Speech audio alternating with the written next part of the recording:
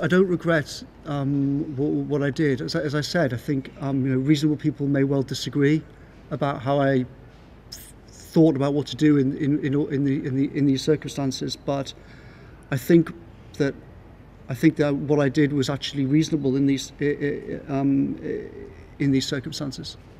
Um, in terms of the rules, I think that the um, I think that the, you know, the rules make clear that if you're dealing with small children, then that could be that can be exceptional circumstances. I don't think I'm so different, and I don't think there's one rule for, for me and, and one rule for other people. Uh, uh, uh, as I said, I think that um, I, I, I looked at the, uh, uh, you know, I, I knew what the guidance was. Um, it talks about exceptional circumstances with, with small children, and I think that in all the circumstances, I behaved reasonably and legally, as I, uh, uh as I said.